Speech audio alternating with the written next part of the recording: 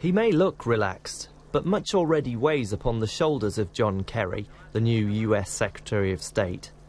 His arrival in Rome heralds what could be a shift in America's policy towards one of the most pressing of those issues, the conflict in Syria. Mr Kerry is on his first major foreign tour in his new role. Before he arrived in Italy, he told a news conference in Paris that a negotiated solution to the crisis was needed and he'd seek guidance from the Syrian opposition on how to achieve this.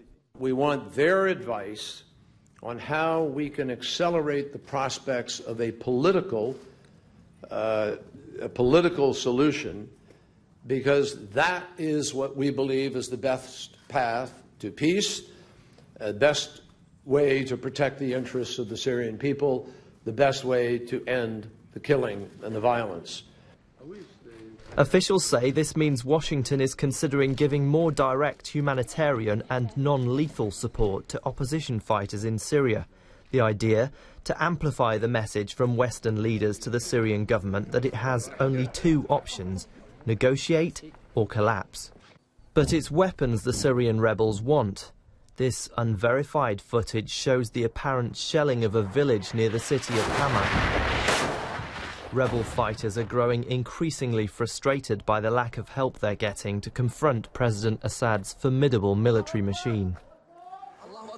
More unverified video posted online depicts what's described as the aftermath of an airstrike on an eastern suburb of Damascus.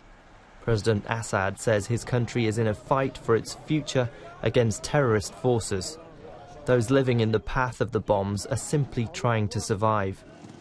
The talks in Rome seem a long way from the fear, panic and anger that define the lives of so many Syrians as this relentless conflict rages on. Andrew Wilson, BBC News.